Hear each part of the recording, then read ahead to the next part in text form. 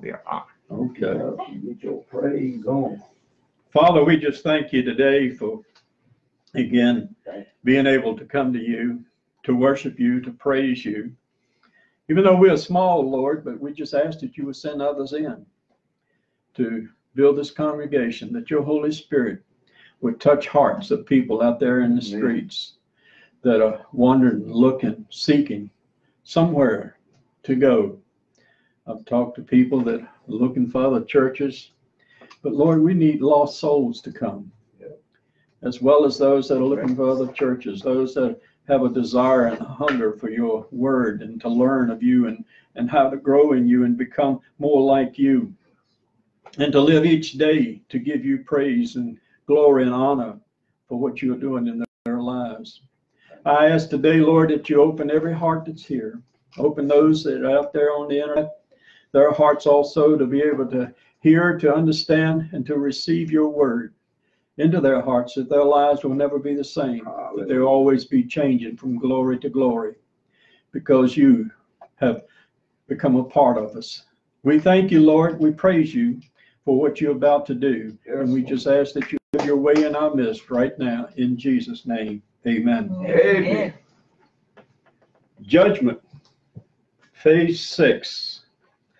And we're going to be talking about crowns and what they mean and who's going to get what and who's not going to get what. It's interesting when you go through the scriptures and you begin to read and, and to study God's word, but let's open it up and look at uh, a crown. It's a special headdress worn uh, by royalty and other persons in high merit and honor. The crown probably involved from the cloth headband or, or turban by a tribal leader. And when you, some years ago, the archaeologists discovered in Jericho tomb a copper headband or crown dating from about 2000 BC. Both the king and the high priest of Israel wore crowns.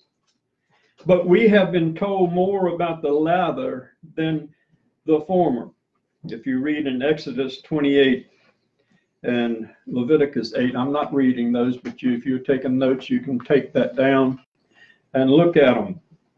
David's golden crown was a prize of battle in 2 Samuel chapter 12.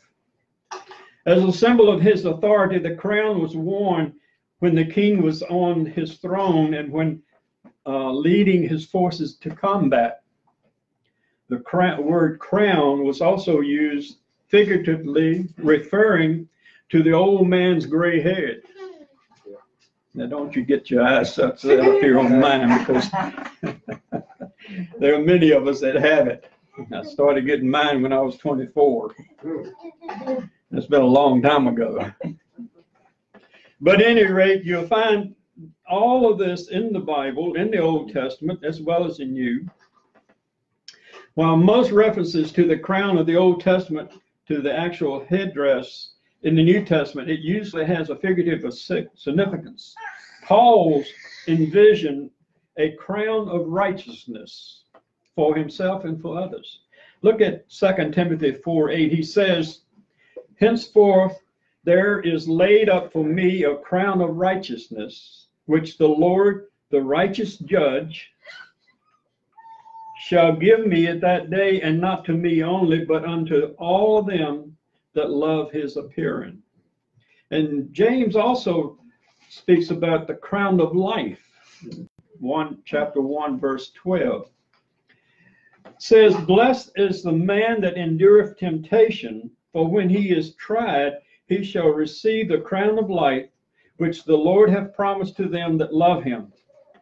While the winning runner of that day, as Paul mentioned uh, in in uh, Corinthians, they received a crown of garland of myrtle leaves. Paul's for, uh, forward to uh, look forward to the crown that he would receive because it would not be a crown that would decay. That's something we are to look forward to because the crown that God gives is not going to decay. And there are five different crowns. We'll, we'll be looking at them this morning. And we'll be talking about some of them. And so as we look here, uh, you see the the athlete that was very victorious, his reward, of course, he had to obey all the rules. I brought that out in the last sermon that I preached to you. That if he did not obey those rules down to the letter, he would be disqualified. He would not receive a crown. Think about the rules that God has laid down for us that we have to follow. If we fail to follow his laws and his commandments, his teachings, his word, we won't receive the blessings that we should. Because what did he tell us when he, before he, uh, after he went to the cross and after he was raised from the dead, he spoke to his disciples as well as to us. We are to go where? In all the world and preach the gospel. That means each and every one of us. None of us are excluded from it. We are to share what the Lord has done. You know, a lot of people over the years I have run across, a lot of people say, I don't have anything to say. I don't know what to say. Well, you only have one thing to say, and that's your testimony. That's the most powerful thing that you have that you can share with others. Don't it's all right if you want to share somebody else's testimony, but it's not yours. It's what God did for you, how He saved you, how He delivered you, how He gave you a brand new heart. He took out the old heart. And it's when you begin to deliver your testimony, that's what's going to count. That's what people are looking for because they're looking at you and me every day, seeing how we are living. You may not know this, but I don't care where you go, people are looking at you. They're watching your actions, they're watching your words, they're watching how you respond to different ones. Someone that may offend you, they're watching. So, we are to be what? A living example of Jesus Christ. Because he died for our sins, he rose again on the third day. Now, when we look at these crowns uh, and we see how the uh, in Second Timothy 2 5, as we talked about the athlete, he did not receive the reward unless he obeyed the rules. Conversely, the word evokes con- revulsion when we read of Roman soldiers weaving the briars into a crown of Jesus' head.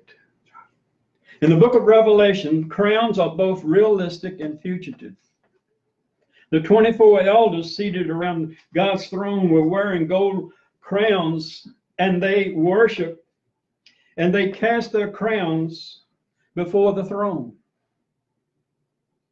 Opposing all the, uh, later on, a seven headed dragon appeared wearing a crown on each head, but opposing all evil forces was the Son of Man wearing a golden crown. In each case, the crown symbolizes power, either good or evil. What are they and how are they described in Scripture? We're going to be looking at some of those. They are described in terms of generalities. What we know about rewards is given in terms that are more general than specific the promise of crowns. This seems to be used as a symbol of victory, of authority, and responsibility. The promise of the uh, heavenly treasure stresses their eternal value and security. First Peter 1 4 says, To an inherited, uh, inheritance incorruptible, undefiled, that fadeth not away, reserved in heaven for you. Now, bear in mind, God has a reward for you. And then we look and see also the promise of accolades or commendation. This is seen that those uh, passages where a reward is administered to the form of something like a well done, thou good and faithful servant. Now, this is something a lot of us we talk about, and well, I hope when I get to heaven, God's going to say, Well done, that good and faithful servant. Let's look at what it tells us there in Matthew 25 21. When Jesus said, He said, uh, His Lord said unto him, Well done, thou good and faithful servant. Thou hast been faithful over a few things. Now, notice what he's saying there. He didn't say many things, but he said a few things. Thou hast been faithful over a few things, and I will make thee ruler over many things. And then in Luke 19 17, he says, Well, thou good servant, because thou hast been faithful in a very little. Again, bringing out few things, not a whole lot of things. Then Paul tells us in 1 Corinthians 4 5, he tells us this because this is where a lot of Christians get into trouble from time to time. He says, Therefore, judge nothing before the time until the Lord come, who both will bring to light the hidden things of darkness and will make manifest the counsel of the heart, and they sh- that then shall every man have praise of God. Because God has did has done what? He has promised you blessings to all of us that overcome. Amen. Amen. So, and you know, we look at this, and this could uh, refer to special blessings or rewards of those believers who overcome special trials. And and the thing we have to remember is, look at Revelations two seven. Jesus says, He that hath an ear, let him hear what the Spirit saith unto the churches. To him that overcometh, I will give to eat of the tree of life, which is in the midst of the paradise of God. 211 of Revelation, he says, He that hath an ear, let him hear what the Spirit saith unto the churches. He that overcometh shall not be hurt by the second death. You see, a lot of folks don't realize there's a physical death and there's a spiritual death. And God can destroy the spiritual body. Jesus told, He says, Fear not what man can do to the body, but fear him who can destroy both in hell, fire. So the spiritual and the physical man, physical man gonna die once, but the spiritual man can die twice if he's not in the Lord. You stop and think about it. Because the Bible tells us we're going to give an account to him. We're going to stand before him. I talked about it the last time I was with you. The Bema seat. The seat of Jesus. The only thing- The Bema means a raised platform. Jesus was what? He was raised up, wasn't he? Remember before he, when he went to the cross, he said, But if I be lifted up, I will draw all men unto me. And then when he went to the grave, he was what? He was lifted out of the grave. He came forth. The grave couldn't contain him, Amen. couldn't hold him. But he came out of that grave because all power and all authority was given unto him. Paul tells us there in uh, Luke 19 26, he says, For I say unto you that unto every one which hath, that unto every one which hath shall be given, and from him that hath not, even that he hath shall be taken away from him. Now, let me say something here for a moment. There are some are going to receive blessings. We've talked about that in the past. Some will not, but him, but he that hath, he says it's going to be taken away from him. What's he going to do? He's going to give it to somebody else that did something else, uh, did more, I should say, and him that didn't do anything, but kind of stand there expecting it all to come to him. But you see, our rewards may be likened to our spiritual gifts.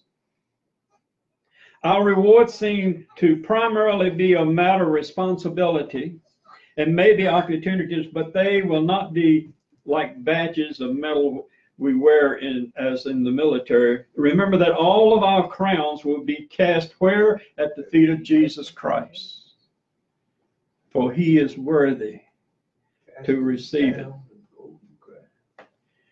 And you see, when we look in Revelation, we look in Matthew, we look in, in Luke, that shows us our rewards consist of authority, either over either many things or many cities. You ever thought about you might be ruling over cities, people? Lord, I don't know what I what I how to do that. But he's going to give you the authority and the power to do that. And it may be that you may be included in the uh, ruling of the galaxies in the universe. Now, you've heard me say, if you've been here any time, I believe one day, when, when it all comes to a close and we're all in heaven, I believe that we'll be able to go anywhere in God's creation as we think it. I agree. I believe, now, I want, I want to say this. There's a lot of places in the United States of America I would love to see. I've never been and probably never will get to see. Not here in this time. But I believe that when, because, you know, he said he's going to create what? A brand new heaven and a brand new earth. It's going to be the perfect place. And it's going to be the most beautiful thing you, we've ever laid eyes on. Now, we have a lot of beauty around us. Amen. Oh. But I believe we'll be able to think a thought and be there as quick as we thought it. That amazes me. Because see, I'm basing this on scripture because what, uh, who was it? Philip had just baptized a eunuch. And what happened to him? Gone. He was translated from where he was many, many miles away. Hmm. Hallelujah. Man, you don't need an airplane. You don't need an automobile. You don't need a horse. You don't need anything but Jesus. Lord Jesus. That's right. And you can be, be there. I'll share this with you since I'm talking about that. Some years ago, I was kind of caught up in the spirit. And I was, I could see this person as if I was there in person. He was uh, a Chinaman over in China. I've never been to China. But I saw him as plain as I can see you seated here in this congregation today. And I was interceding for him. I didn't know what for, but God had moved on my heart to pray for him. And I was like I was just flying over top of him. And and I began to pray for him, not knowing what God wanted me to pray. But I was praying in the spirit. But I saw him as plain as you and me. And it won't the first time, it won't the last time. I've had other visions like that. But I'm not here to boast about what, what I've seen and how it happened, but I'm here to encourage you as believers in Jesus Christ that you can have those same things because of the uh, manifestation of God's Spirit. He can manifest any of these things. You said the old men will do what? dream dreams and the young will see visions. Well, we old folks can see, have a lot of good dreams, amen, and, and the young ones can have visions. Praise God. But it's all for the glory of God. It's not for us, but for Him. In Revelation chapter 4, verse 10 and 11, the four and twenty elders fell down before him that sat on the throne and worship him that live liveth forever and ever, and cast their crowns before the throne, saying, Thou art worthy, O Lord, to receive glory and honor and power, for thou hast created all things, and for thy pleasure they are were created and were created. In scripture, the church is viewed as the heavenly kingdom, a universal priesthood. This may indicate something of our authority. We may rule over these galaxies, celestial bodies, the heavens, definitely over angels, the Bible tells us. But let's look in 1 Corinthians chapter 6, verse 2 and 3, Paul says, Do ye not know that the saints shall judge the world? And if the world shall be judged by you, are ye worthy to judge the smallest matters? Know ye not that we shall judge angels? How much more things that pertain to this life? Israel is the earthly kingdom and will undoubtedly have authority over portions and sections of the millennial kingdom and the eternal kingdom. As, uh, as we can look through Matthew, if you ever sit down and get time to sit down and read Matthew 25, the whole thing, and Daniel, you can read him, uh, chapter 7 and you'll get a, get an insight into these. I'm not going into all of them because there's so many scriptures there, but they're uh, excellent for research. Crowns of the New Testament. The word used for crowns is in the Greek is Stephanos. I, have you got your Stephanos today? Well, course, this is was the victor's crown, the wreath given to the victorious athlete before the judge at the bema. It is a word used of the crowns pro, a promise to believers for faithfulness in the Christian life.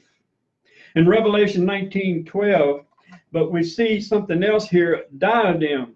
This was the was the royal crown, the crown of king. It's used seven uh, of seven diadems of the beast in Revelation, but to stress that Christ is King of Kings and Lord of Lords. This word is also used of the many diadems the Lord will wear at his return. Think about it the crowns that he will wear. Revelation 19:12 says, His eyes were as flame of fire, and on his head were many crowns. And he had a name written that no man knew but himself. You see, the principle, the Lord Jesus is the victor, and our victory is really his victory, which is appropriated by faith. Crowns are given as rewards for the faithfulness to the appropriate, appropriate God's grace and God's victory in the Christian life. They remind us of our responsibility to abide in the vine. When Jesus comes, each believer will receive his or her just reward. Now, I want to bring out something. I may bring it out a little later too. Now, if you've been to funerals, you hear a lot of the preachers get up and say, well, this individual has gone to his rewards. No, he has not. You do not receive any rewards here now or when you die. Because when you follow scripture, you're going to find out when Jesus comes back, he's what? He's going to bring his rewards with him to do what? To give to you. Now, don't get it confused. That, well, when I die, I'm going to get my rewards. Uh, the only reward you're going to get is when you get to heaven. But the blessing that you're going to get is going to be, the Bible says, to be absent from the body is to be what? Present with the Lord. So the spirit leaves the body and it goes to be with Jesus. That's a blessing. Hallelujah. Your reward hasn't been given yet. So hang in there. It's coming. Because soon and very soon we're going to meet the King. Hallelujah.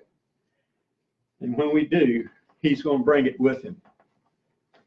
So as we look at these things, no rewards will be given by political preferment, but only in the exact proportion of the genuine effort put forth other uh, parables of the Lord which should be studied in connection with the Christian service of the unprofitable servant. Y'all can look that up in Luke 17.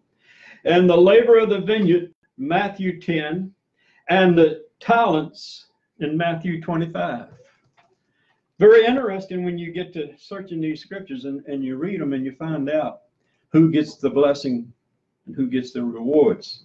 In 1 Corinthians chapter 15, verse 40 and 42, which we had in our part of our responsive reading this morning, Paul says, There are also celestial bodies, body terrestrials, but the glory of the celestial is one, and the glory of the terrestrial is another. There is one glory of the sun, another glory of the moon, another glory of the stars. For one star differeth from another star in glory. So also is the resurrection of the dead. It is sown in corruption, it is raised in incorruption. Every Christian will be given a celestial body in the resurrection. But these bodies will differ in the glory that each uh, shall possess and enjoy in heaven. Paul asked us to notice how the stars differ in glory. Some shining with great brilliance than others. Then he includes, so also is the res- resurrection of the dead. All believers will have glorified bodies, but there will be differences in glory according to the measure of our diligence and devotedness to Christ and his work. Crowns or rewards. In Revelation chapter 3, verse 11, Jesus said, Behold, I come quickly.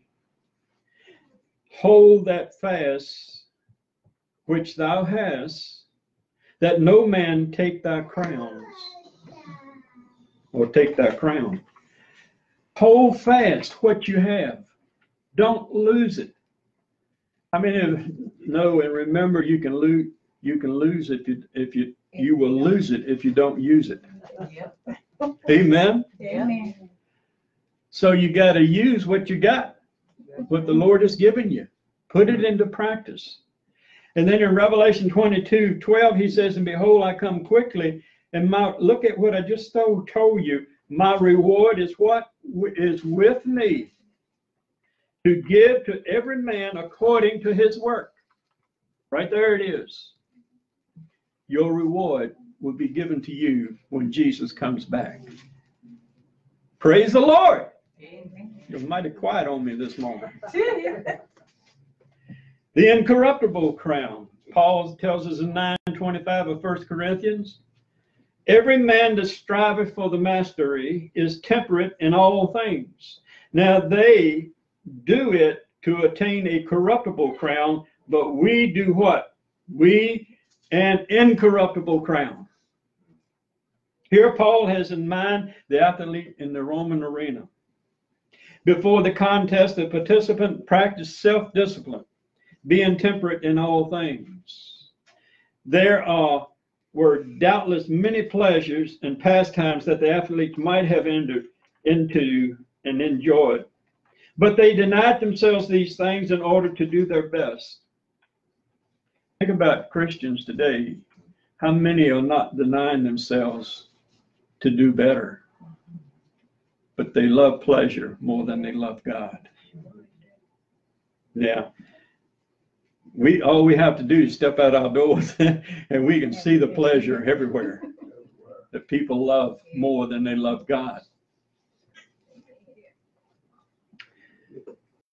But you know, Brother Alvin talked about this morning being on the river. I used to go down there years ago, just me and Jesus. The water rippling over the rocks, fish swimming all around, the birds singing. Talk about having a good time. You can get close to God there because you rule out everything else is around you, except what's there for in, to be enjoyed that God created. Go to the mountains. How many have ever been on a mountain and had a mountaintop experience? I've been there. I had an experience with God on the side of a mountain. I didn't have to go there, but it was there. I felt that I needed to get alone with God. Well, if, if anybody had been around, they thought a tribe of Indians might have moved in. But it was just me and Jesus. I was pouring my heart out to him. I needed to know what he wanted me to do, where he wanted me to go friend of mine invited me to Ohio to come join him in his church up there. Well, I went up there. But God spoke to me through a young, young lady, I think she was about 17, 18 years old, through the word of knowledge. And she said, God said, you don't belong here. I knew that, but I, had to hear it from somebody else. And so when she spoke those words, she also said, God said that many man has tried to open doors for you. But he said, I'm going to kick those doors in and you're going to walk in. And I did. I came back to Virginia after I told the guy, God doesn't want me here. And I came back here, and it's when I went into the prison ministry. He opened up the federal prison, city of Petersburg jail, Dinwiddie County Jail, state facility, and a facility out in Prince George. I mean, just opened the doors and I walked in. Amen. And for 27 years, I delivered the word to most of those facilities. Talked to a lot of guys. But you see, when God's in control, when He opens a door, it opens, nobody shuts it. Amen. And you walk in and you do what He called you to do. Hallelujah. Let me tell you something, I had no idea where I was going or what I was going to be doing. But I found out, you talk about trusting the Lord and that He provides for everything you have need of. Amen. He takes care of you. So don't get caught up in letting it go to you. A lot of people, they, they get into ministry, they, their heads swell so big, they can't see and hear what God is saying. They missed the mark. And what did Paul say? He said he strive for the mark of the prize of the high calling of Jesus Christ. Amen. You reach out and let God lead you. You know, the Bible, as we look at it, there are certain pleasures, worldly amusements, manners of dress, uses of cosmetics that interfere with one's progress in spreading the gospel and winning the lost to Christ. If I live victoriously over all things, making no provisions for the flesh to fulfill the lust thereof, I shall gain the reward for a victorious life, which is the incorruptible crown. If an athlete must subject himself to many months of rigid discipline and training to attain an uh, corruptible crown, how much more should we bring our bodies into subjection for the crown that is incorruptible? You think about it now. We all go through it from time to time. We we work, but our works don't get us into heaven. Because I always said this, and I, and I continue to say this, that if you and I, those of us that have come to Jesus Christ, once we have come to Christ, you automatically want to serve Him. Amen. Amen. You don't have to be told to go serve. You start right where you are. What did Jesus tell the disciples? He said, he's, He didn't tell them to go all over the world. He said, begin where? At Jerusalem, at home. And when you begin at home, then you go out to Judea, and then you go out to other parts of the world. Start at home. Some folks think they got to start all over somewhere else. A young man and his family, I've said, shared this before, I'm going to do it again. Some prophet prophesied over him that he was to go out to Tennessee to start a new church. And he went out there with his family, his wife and children. After a few months, he lost everything he had his home. He had no job. And he finally found a pastor out there that truly knew the Word of God. And he, and the pastor talked to him and he asked him one thing. He said, Did God tell you to come out here? He said, No, God didn't tell me. He said, A man told me. And I thought that man was speaking for God. The pastor told him, He says, If God didn't tell you, then you don't belong here. Always remember this and don't ever forget it. If God tells you something, He plants it in your heart, and somebody comes up to you and tell you that you're going to go somewhere to start a ministry or you're going to preach somewhere, and God has never spoken to you about preaching or teaching the word, and you go out there and you try to do it, and nothing works. You see, here's how God operates. Every time God deals with one of us, he deals with us first in our hearts. And if a man comes up to you and begins to tell you things that you know that's in your heart, that's of God.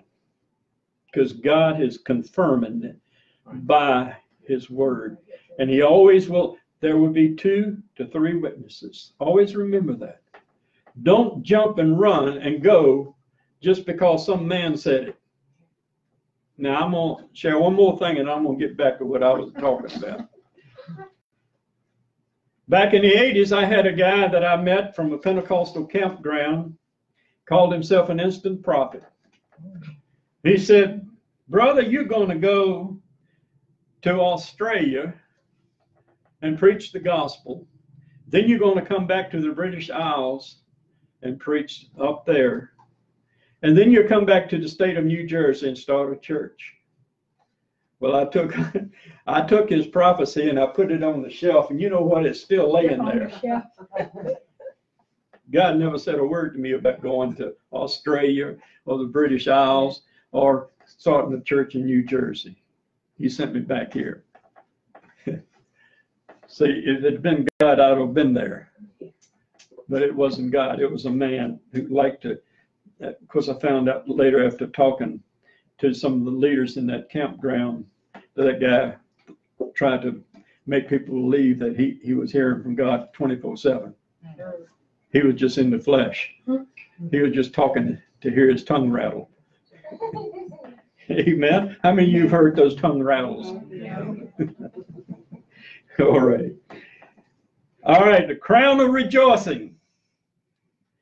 In First Thessalonians chapter two, verse nineteen and twenty says, For it is our hope or joy or crown of rejoicing or not even ye in the presence of our Lord Jesus Christ that has come. For ye are, are our glory and joy. This is the soul winner's crown. The first thing that a Christian should pray for and seek to cultivate is the desire and ability and wisdom to win lost souls to Jesus Christ. Paul was confident that when he would stand before the judgment seat of Christ, the Thessalonian converts would guarantee a crown for all those who shared in bringing them to Christ. Every time an individual is converted, there is joy in heaven. Listen, Amen. you know what? The Bible tells us that when, when the lost sheep, the 99, went off, one, stayed together, but that one left the flock. Mhm. And the Bible says that there was rejoicing in heaven. Did you know who was rejoicing? Not just the angels, but God Himself was rejoicing because that one soul came back. Amen. Think about it. Just one individual, God rejoices over. That's how much God loves people. Amen. One soul. And never go around telling people how many souls you have won into the kingdom because you win nobody. You only point them in God's direction and He does the saving. Amen. Amen. You see, what we may ask the question, or what is our hope or reward as Christ's witnesses? The answer is in those who will be in heaven because of our prayers, gifts, preaching, and personal work. And then we come to the crown of righteousness in 2 Timothy chapter 4, verse 8. Henceforth there is laid up for me a crown of righteousness, which the Lord, the righteous judge, shall give me at that day, and not to me only, but unto all them also that love his appearing. Here the character of the reward corresponds to the character of the giver. Both are said to be righteousness. The doctrine of our Lord's return is regarded very highly by God, in spite of the fact that Jesus said he would come again. And there are many people who scoff at the thought of Christ appearing. This and kindred truths have brought suffering, hardship, and in some cases death hmm. to those who insisted on preaching and teaching them. But how wonderful to know that God has prepared a special reward for all who took, who look to that blessed hope, Amen. who wait for his son from heaven, who love his appearing. Because one day Jesus is going to split the eastern sky. We're going to see him for the first time. The Bible tells us in First John, we're going to know him as he is, and we will be what like him. Hallelujah. That day is soon and very soon. Look around you, what's going on in the world that we live in. Time is running out. The clock is approaching the midnight hour. Crown of life. James 1:12 we read earlier, but let's look at it again. Blessed is the man that endureth temptations. Did you know that you're blessed? Yes. That when you are tempted, you go out, and I mean, temptation is on all sides. Yep. You're blessed because you are what? An overcomer. Amen. Hallelujah. The devil has no victory. Amen. He has no power unless we give it to him. But you see, when you're tempted and when you're tried, you shall receive, or James says, he shall receive the crown of life, which the Lord hath promised to them that love him. In Revelation chapter 2, verse 10 says, Fear none of those things which thou suffer. Behold, the devil shall cast some of you into prison that ye may be tried, and ye shall have tribulation ten days. Be thou faithful unto death, and I will give thee a crown of life. The crown of life is reserved for those who have given all their lives for the sake of the gospel. Not all of our Lord's witnesses have been called to suffer martyrdom. Not all would be willing to pay with their lives to take the message of salvation to the lost. How thoughtful and, and how uh, just how uh, Heavenly Father was when He prepared a martyr's crown for those who suffered persecution for Christ's sake. Though some of us will not receive the crown of life, we will rejoice with those who refuse to count the cost and died in proclaiming the gospel of Jesus Christ. In 1 Peter chapter 5, 2 and 5, we see the crown of glory. Peter says, He says, Feed the flock of God which is among you, taking the oversight thereof, not by constraint, but willingly, not for filthy lucre, but of a ready mind, neither as being being lords over God's heritage, but being examples to the flock. And when the chief shepherd shall appear, you shall receive a crown of glory that fadeth not away. Amen. There are many who have been called and ordained by God to preach and to teach his word. These are under shepherds. That's what we are. Pastor Joshua and myself are under shepherds. We stand under Jesus Christ's authority and power. Because he is the chief shepherd. Let us give ourselves without orientation to the care of the sheep of his pasture, for the crown of unfading glory awaits us in the day when the chief shepherd shall appear. If there is to be joy and rejoicing for those who receive the crowns, surely there will be disappointments and sorrow for those who do not receive them. God keeps us in keeps an exact record of the sins and works of his children. The record includes all of our motives, all of our acts, all of our response to our uh, to or rejection of God's call to faithful stewardship and service. When an unfaithful Christian hears and sees the true record, Mm. think about these things. When he hears and sees the true record of his unfaithfulness, when he is reminded of the large sum of money he left behind, instead of giving it or a portion of it to someone to help spread the gospel. Or when he sees how the cause of Christ has suffered because he he- of his neglect and indifference with Christians who has wronged him or his brother or sister and never repented of his sins and sees that ugly deed dragged out of its hiding place. You can't hide anything from God. Yo, open door. Don't think you can hide it because one day it's coming to light. But how in the world is God going to be able to do it all? All the people that have been saved and all of those that hid things, it's going to happen so quick and so fast. It's not going to take hours. It's not going to take days. It's not going to take months. It's not going to take years. It's going to be in a split second. You, we can never forget He is God. Amen. And nothing is too big for Him. If there are 2,500 billion people at the judgment seat of Christ, it will happen in a split second if you put a time to it. It's not going to be over a long drawn period of time. Something to think about, huh? Isn't God good? Listen to this. I ran across this in my research. The story was told of a great fire in a city apartment. The tenants had all been led to safety, with the exception of one family on one of the upper floors. The mothers, the mother driven to frenzy by the terror that occup, uh, accompanied by the flaming and smoke-filled room, leaped to safety into a fireman's net. But it was discovered that in her befogged and delirious mind, she completely forgot her children who perished in the flames.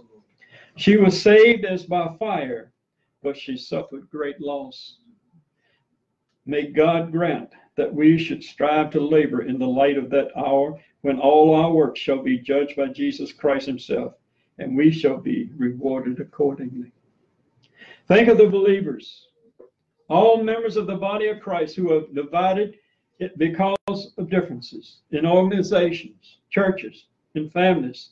I have seen Christians who have not been on speaking terms, people who were at one time very close and intimate friends are now separated and bitter feelings exist between them. Each blames the separation on the other, and they continue on trying to serve the Lord, but their differences have been have not been adjusted. Now, if our Lord returns before there be a reconciliation of such Christians here on earth, it is necessary that they get right with each other somewhere. For certainly they cannot continue forever in holding hatred and animosity in their hearts. Heaven knows no such actions. Hatred and unforgiveness is sin, yet there is no sin in heaven, the necessity of the judgment seat of Christ.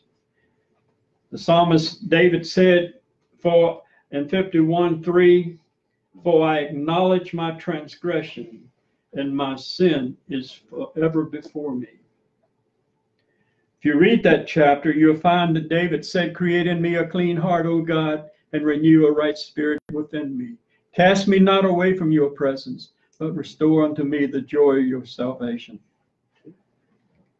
David knew what he had done was wrong, but he had to be told by somebody else. And because he had committed adultery. But he had love in his heart for God. The Bible says that he was a man after God's own heart, but still David failed. He messed up.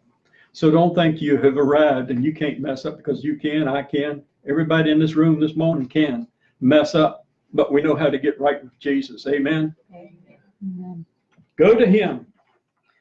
Lord, look in my heart. If I'm harboring anything that's not good and not pleasing to your sight, I ask that you forgive me, cleanse me, purify this body, this mind of mine, my heart. Get it right, Lord, so I can serve you with a whole heart, a clean heart, a pure heart.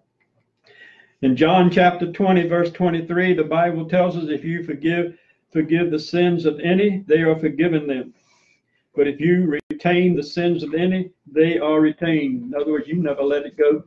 You're still carrying it around. You've Got to let it go. You've Got to get rid of it. Forgiveness is contrary to the pattern of the world. In this day of constant law lawsuits of instance, uh, instant demands for legal rights, Paul commands sounds almost impossible. When someone hurts you deeply, instead of giving him what he deserves, Paul says to, to befriend him, become a friend to him. Hmm. Why does Paul tell us to forgive our enemies? Forgiveness may break a cycle of retaliation and lead to mutual reconciliation. It may make the enemy feel ashamed and change his or her ways. The Bible says what? Heap coals of fire upon the head by doing good, praying for your enemies. Hmm. Even if your enemies never repent, forgiving him or her will free you of a heavy load of bitterness. How many know that that bitterness and hatred and resentment destroys a person totally? Forgiveness is an act of the will. Forgiveness involves both attitude and actions. If you find it difficult to feel forgiven of those who have hurt you, try responding with, with kind actions. Sometimes that's hard to do, Yeah, but you've got to take that step of faith amen. and believe the Lord to take care of it. It's- But you do it on your part, He's going to do it on His. He'll take care of it. If appropriated, tell such per- people that you would like to heal your relationship. Give them a helping hand, send them a gift, smile at them. You, you try that. Go to town today. Boy, I tell you, look around at the folks that you're looking at, and they got such frowns on their faces mm-hmm. but perk up a smile, and next thing you know, you got a smile coming back. Amen. Amen. I do that a lot. I look at somebody, they look so sad, and I just smile, and they smile back. I say, "Have a good day." That's what God wants us to do. We are the light of the world. Absolutely. We're going to let our light so shine among all of that trash that's around us out there. But forgiveness. Matthew 6 14 and 15 says, If you forgive people their wrongdoings, your heavenly Father will forgive you as well. But if you don't forgive people, your Father will not forgive you of yours. So that's very important principle and thing is to remember that we need to learn to forgive one another. Why? Because it keeps the slate clean. If you keep it clean, then God can work in your life. He can do wonders. He can do miracles.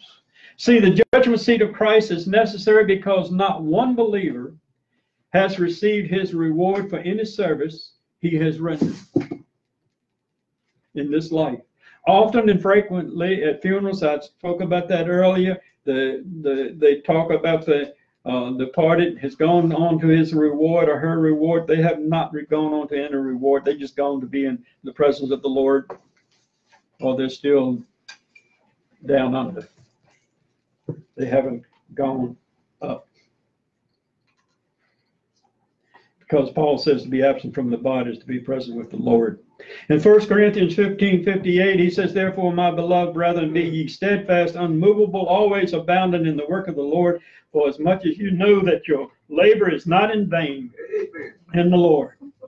And in Hebrews 6 10, I'm bringing this to a close here. For God is not unrighteous to forget your work and labor of love, which ye have showed toward his name. And ye have ministered to the saints and do minister. Then in Colossians uh, 3 23 and 24, he says, And whatsoever you do, Look at what he's saying. Do it heartily as to the Lord and not unto men. Knowing that of the Lord you receive the reward of the inheritance, for ye serve the Lord Jesus Christ. I tell people, and Brother Allen can attest to this, and I'm sure all, just about everybody in here, that when I went, went on a job to do a job, I did that job to the best of my ability, but I did it to please Jesus. And when you please Jesus, you're gonna find what? You please man. Because that's such a reward. I, I sometimes I, I had received when I had, I didn't, I mean, I, I checked, charged a fair market price. But after I did the work and completed, I would get rewarded from my customers anywhere from two hundred to five hundred to seven hundred dollars extra that I didn't even charge for. That was God. Amen. He provided, He gave. And for all the 33 years that I was in business, He has provided. Absolutely. And, he- and I'm sure you have received such things as that. But it's, that's who your provider is. He will bless you, even though you, so, well, I didn't work for that. I don't want that. Look, I want you to have it. Yes, ma'am, or yes, sir. Thank you. Praise you. Praise the Lord. Amen. Because he provided. And I didn't just have that happen to me one time. I had it happen to me many, many times over those 33 years. Because God is my provider. In James 1:12, we started out with this. Blessed is the man that endureth temptation, for when he is tried, he shall receive the crown of life, which the Lord hath promised to them that love him. Amen. In summary of this verse, a crown is something awarded to a victor. While the crown of life might in fact be literal, it is certainly uh, representative of the promise of eternal life. The race itself represents our life and its many struggles. Our principal enemy we race against is Satan. And on our own, we cannot win against him. We are assured of victory, however, if we rely on Jesus with true and enduring faith. Some promises are conditional and some are not. Either way, once God declares he will do a, a thing, it will be done. You can always count on him. And anytime God places a condition on a promise, he offers responsibility. If we respond to using that responsibility to place our faith in Him, we will surely receive the promise. And Jesus, what does the Bible tell us in Hebrew? He is a God that He cannot lie. That's right.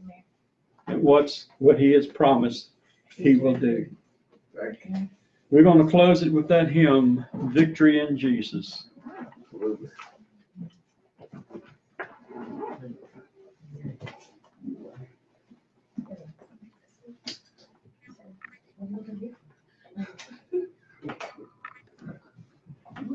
Holy days. 511. There wasn't there one. You. Oh, bless his name. A one, two. Go ahead.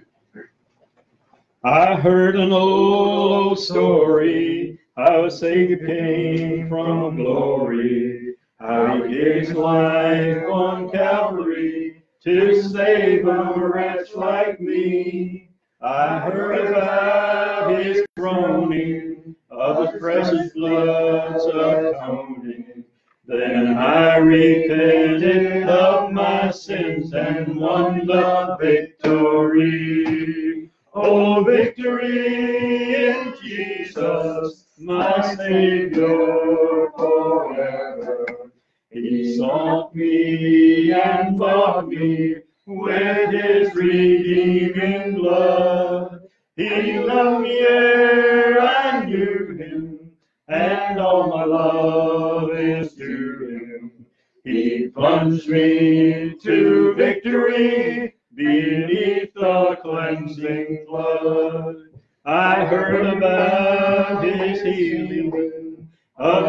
cleansing revealing.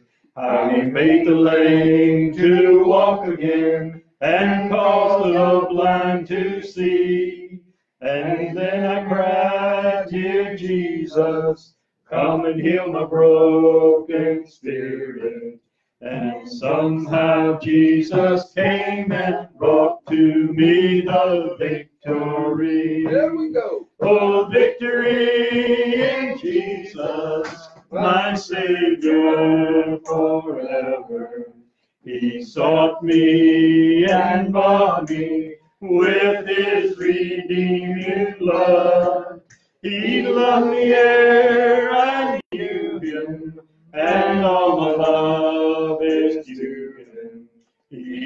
He me to victory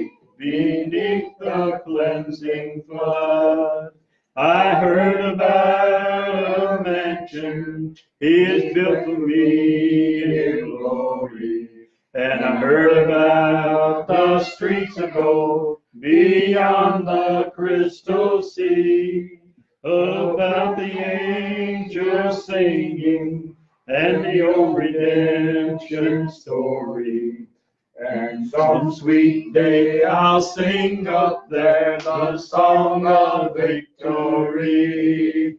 Oh, victory in Jesus, my Savior forever. He sought me and bought me with his redeeming blood.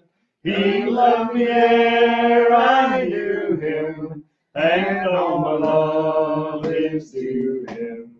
He plunged me to victory beneath the cleansing flood. Hallelujah. Father, we thank you today for your word and your people. I ask that you seal it in their hearts, Lord, that they leave this place rejoicing in you. Give them strength and courage for each and every day, whatever they may encounter, that you put a hedge of protection about them to watch over them. And Lord, give them the word to speak with Yes. power and authority to those that will receive it with gladness of heart. And I thank you for them and I ask your blessings to be upon them in Jesus' name. And all of God's people say it. Praise the Amen. God bless you and have a blessed week in the Lord. That's right. Amen.